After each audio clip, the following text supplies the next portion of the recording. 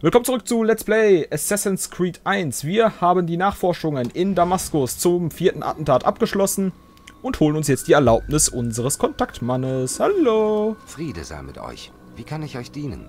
Ich habe alles erfahren, was ich über mein Opfer wissen muss. Dann müsst ihr euer Wissen mit mir teilen.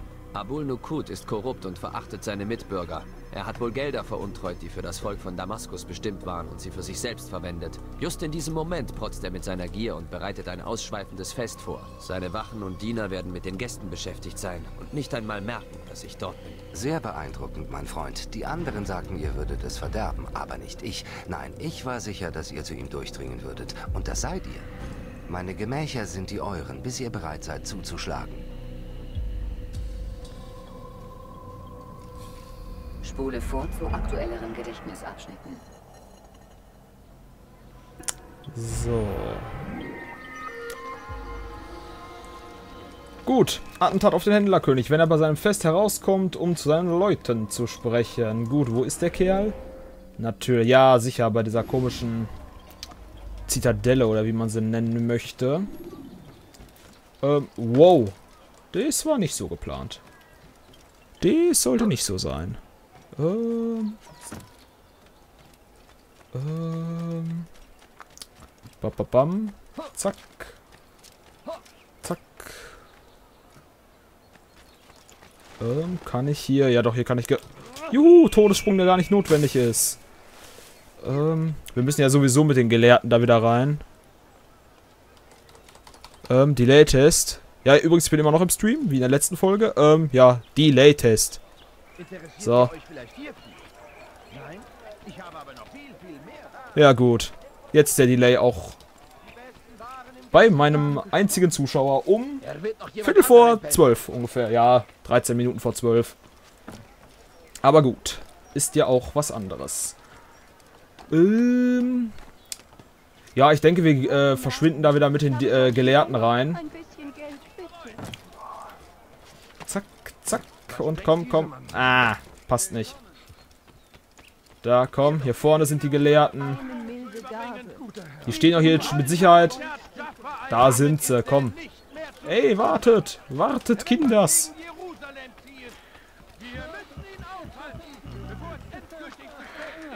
Komm, ihr geht ja doch hundertprozentig rein. Hundertprozentig gehen die da rein. Komm. Wenn die jetzt nach links äh, biegen, wenn die jetzt nach links abbiegen, habe ich ein Problem. Gut. Ihr geht 100 pro da rein. Dafür sind die Gelehrten ganz gut zu gebrauchen.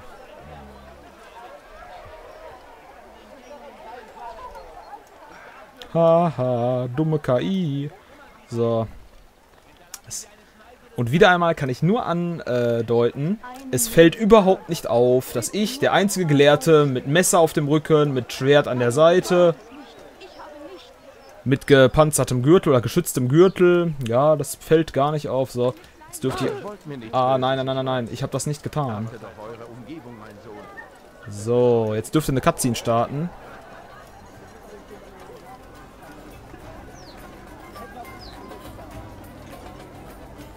Ähm, so.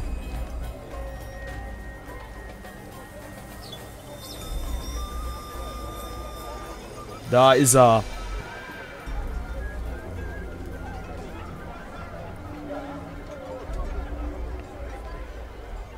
Willkommen, willkommen. Danke, dass ihr heute meine Gäste seid. Bitte esst, trinkt und genießt die Annehmlichkeiten, die ich euch biete. Lasst euch Zeit. Ich warte. Naja, obligatorische Trinkgeräusche. Denke, alles ist zu eurer Zufriedenheit.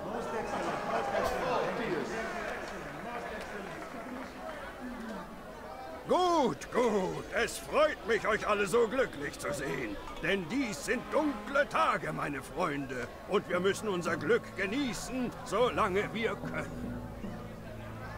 Der Krieg droht uns alle zu verschlingen. Salah al-Din streitet tapfer für seinen Glauben und ihr seid immer da, um ihm zweifellos beizustehen. Eure Großzügigkeit erlaubt ihm, seine Kampagne fortzusetzen. Einen Trinkspruch also. Auf euch, meine Freunde. Ihr habt uns dorthin gebracht, wo wir heute stehen. Mögt ihr die angemessene Belohnung dafür erhalten. Solche Freundlichkeit. Ich habe sie nicht erwartet. Ihr, die ihr so schnell über mich gerichtet habt. Und auch so hart. Oh, tut nicht so unwissend. Haltet ihr mich für einen Narren? Dass ich nicht höre, was ihr hinter meinem Rücken redet? Doch, ich höre. Und ich glaube, dass ich es niemals vergessen kann. Aber darum habe ich euch heute nicht gerufen. Nein. Ich wünsche mehr von diesem Krieg zu reden und eurer Rolle. Ihr gebt euer Geld so schnell, obwohl ihr genau wisst, dass es den Tod Tausender bezahlt. Ihr wisst nicht mal, warum wir kämpfen. Für das heilige Land, sagt ihr. Oder wegen der bösen Vorhaben unserer Feinde. Aber das sind Dinge, mit denen ihr euch selbst belügt. Nein, all dies Leid wird geboren aus Angst und Hass. Es stört euch, dass sie anders sind. Und es stört euch, dass ich anders bin. Mitleid, Gnade, Toleranz. Diese Worte bedeuten euch allen gar nichts. Und sie bedeuten den ungläubigen Eroberern nichts, die unser Land auf der Suche nach Gold und Ruhm plündern. Also sage ich, genug! Ich habe mich einer anderen Sache verpflichtet. Einer, die uns eine neue Welt bescheren wird, in der alle Völker Seite an Seite nebeneinander leben, in Frieden. Ah. Schade, dass es keiner von euch erleben wird.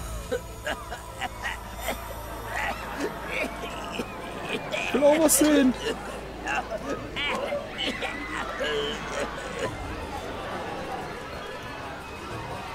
Ja.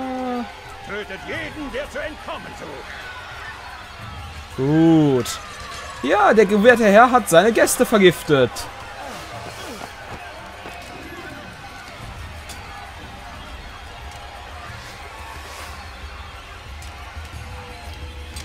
Verdammt. Okay, ähm... Brunnen. Okay, das geht auch nicht.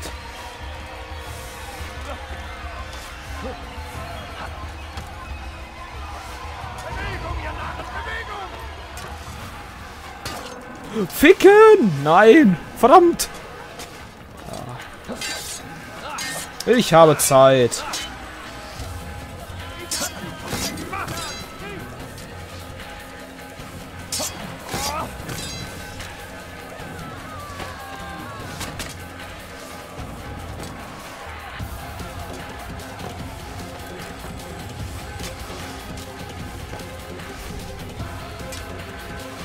Verdammt, verdammt, verdammt, verdammt.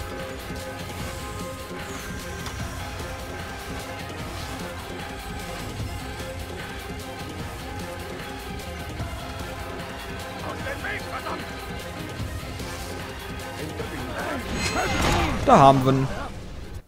Ruht in Frieden. Ihre Worte können nun keinen Schaden mehr anrichten. Warum habt ihr das getan? Ihr nahmt Geld von jenen, die ihr angeblich führt. Gabt es für einen unbekannten Zweck. Ich möchte wissen, wohin es ging und warum. Seht mich an. Meine Existenz ist eine Beleidigung für mein Volk. Und diese edlen Gewänder vermögen ihre Schmährufe kaum zu dämpfen. Also geht es euch um Rache. Nein, nicht um Rache, um mein Gewissen. Wie könnte ich einen Krieg im Namen des Gottes finanzieren, der mich eine Abscheulichkeit schimpft? Wenn ihr nicht Salah al-Din dient, wem dann? Ihr werdet es rechtzeitig erfahren. Vielleicht wisst ihr es auch bereits. Warum versteckt ihr euch? Wozu diese Gräueltaten? Sind sie so verschieden von dem, was ihr tut? Ihr nehmt die Leben von Männern und Frauen, überzeugt, dass ihr Tod den Massen derer dient, die überleben. Ein kleines Übel für das große Gute. Wir ähneln uns sehr. Nein, wir ähneln uns nicht. Ah, aber ich sehe es in euren Augen. Ihr zweifelt. Ihr könnt uns nicht aufhalten. Wir werden die neue Welt erschaffen. Ja, ja. Kryptische Sprache. Und jetzt erstmal raus aus diesem komischen Tempel. Auch finde ich ja gut, dass hier sofort so ein Ausgang ist. Oder ich ihn zumindest für so einen hielt. Okay, danke für die Hilfe. Verdammt! Ähm, ganz schnell hier weg, ganz schnell hier weg. Ja, der wertestämmige Herr, der deutet auch auf diese ganzen Geschichten hin. Ob es so richtig ist, was wir tun, wo der Unterschied zwischen dem ist, was er tut, ja. Ähm, und ich bin in einer verdammten Bazar. Ach, verdammt.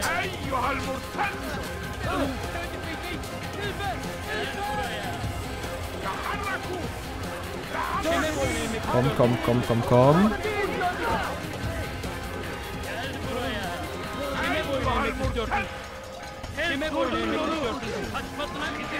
Komm, komm, komm, komm, komm. Ja, noch ist der Sichtkontakt nicht unterbrochen. Jetzt ist der Sichtkontakt unterbrochen, aber... Ja, komm. Ja, Büro ist geschlossen. Das war mir schon irgendwie klar.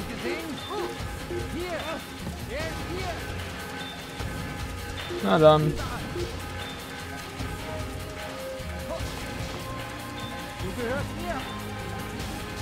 Ja richtig clever. Nein, hier war eine Bank. Na komm, macht eh keinen Sinn.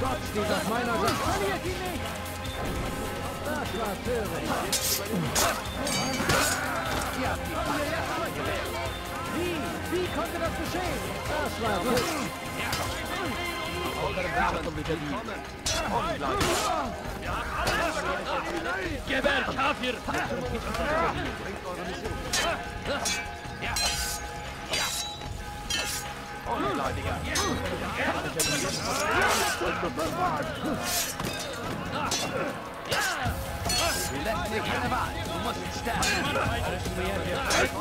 no,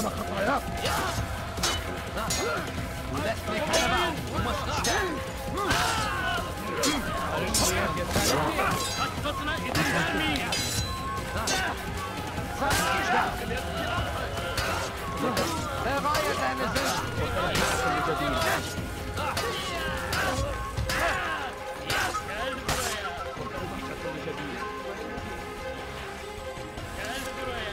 Ach, er da hinten ist noch übrig. Ja. Komm.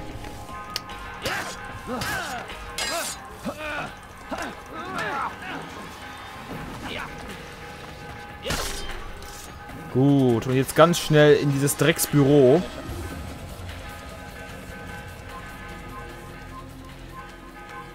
Nein, nein, nein, nein, nein, nein, nein. Bitte lasst, bitte lasst mich in Ruhe. Ähm, nein, nach äh, Assassin's Creed kommt nichts mehr. Ich werde heute nur Assassin's Creed spielen. Hätte ich was anderes noch spielen wollen, hätte ich es in dem Ankündigungsvideo erwähnt. Hallo! Die Kunde eures Erfolges kam mir zu Ohren. Abul Nukuds Tyrannei wurde beendet. Schön, das zu hören. Er tötete sie, die Männer und Frauen auf seinem Fest. Es war Gift, die Waffe eines Feiglings. Er gab ihnen die Schuld für den Krieg und sagte, er würde ihn beenden. Merkwürdig. Allerdings war der Händlerkönig bekannt dafür, ein wenig anders zu sein. Vielleicht war es nur ein Symptom seines Wahns. Vielleicht. Ihr scheint zu zweifeln. Sprecht mit Al-Mualim. Er mag eine bessere Erklärung liefern. Ja, ich werde hören, was er zu sagen hat. Hm. Wollte sagen, jetzt wird, jetzt wird wieder vorgespult. Ja, dass der Typ nicht ganz knusper ist, das hat man ja eigentlich gemerkt, weil was für einen Grund sollte man haben, das halbe Dorf zu vergiften? Na gut, dem einen oder anderen mag was einfallen, aber nee, das spricht eigentlich schon für sich. Wir spulen natürlich noch Massia vor. Das Königreich haben wir eigentlich aus fertig erkundet. Brauchen wir da auch nicht nochmal durch galoppieren.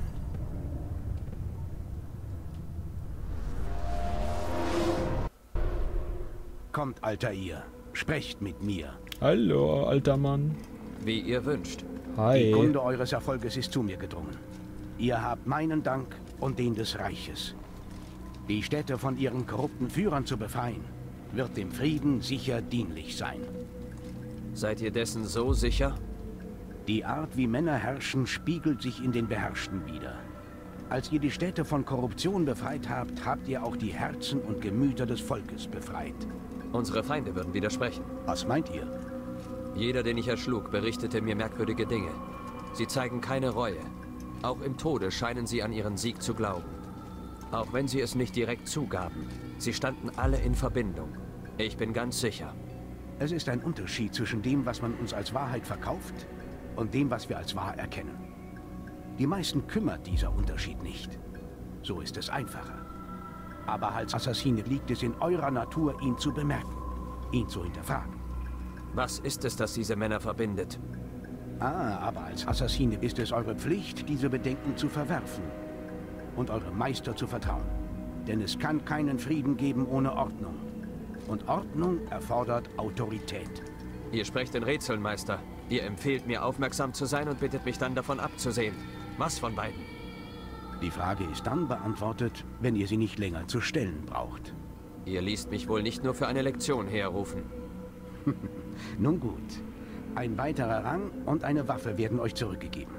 Zwei Führer sind noch übrig. Geht und sorgt dafür, dass ihre Herrschaft endet. Das sieht doch ein Blinder mit dem Krückstock, dass der Alte was zu verheimlichen hat. Aber gut, dazu dann später mehr. Wieder eine Synchronisation dazu gewonnen. Und anscheinend ein paar neue Stiefel. Balance halten, ausweichen. Oh Gott, nein, sie können im Move trainieren. Ich will nicht wieder zu diesem ekligen Kerl gehen. Alter, ihr, mich düngt meine... Äh, da steht er schon wieder. Meine Schüler wissen es nicht, was es heißt, eine Klinge zu führen. Vielleicht könnt ihr ihnen zeigen, was ihr wisst. 5, 4, 3, 2, 1. Altair, mich dünkt, meine Schüler verstehen nicht ganz, was es heißt, eine Klinge zu führen. Vielleicht mögt ihr ihnen zeigen, was ihr wisst. Nein, genauso wenig wie die anderen 50.000 Male.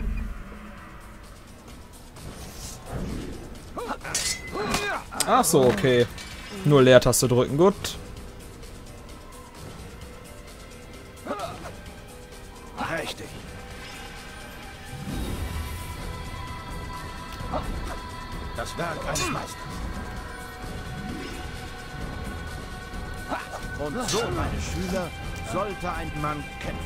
Naja. Oder den Trainingsleiter abstechen, weil er ihm einfach nur auf die Nüsse geht. So, Tutorial verlassen. So langsam dürfen wir auch eigentlich alle. Fähigkeiten wieder haben. Ähm, als nächstes müsste es nach Akkon gehen. Dürf, dürfte jetzt eigentlich auch vorspulen. Jupp, wir verschwinden nach Akkon. Jerusalem kommt wieder ganz zum Schluss. Ähm, Büro oder Umland? Ne, Büro, komm. Nennen wir das Kind beim Namen. Wir hauen dahin. Wir hauen sofort nach Akkon ab. Wenn sie von Wachen entdeckt wurden, unterbrechen sie deren Sichtkontakt und verstecken sie sich. Im Büro werden wir jetzt doch auch nochmal einen Schnitt machen. Das vierte Attentat ist vollbracht und jetzt, ja, bereiten wir uns dann nach und nach aufs fünfte Attentat vor.